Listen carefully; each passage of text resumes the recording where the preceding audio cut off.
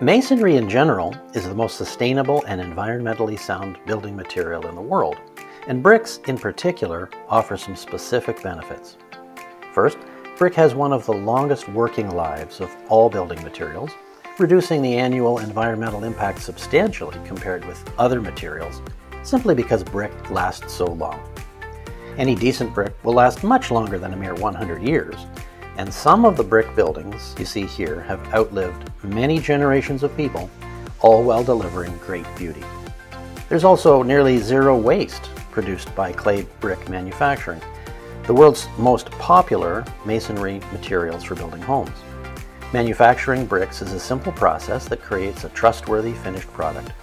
Here you can see waste clay being reworked back into the brick-making process to make new bricks in a brick factory.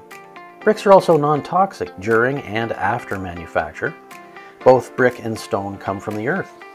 Here you can see the kind of shale rock that's ground into a powder to create the clay used to make modern bricks. Shale is as safe as dirt or any other kind of rock you'll see anywhere.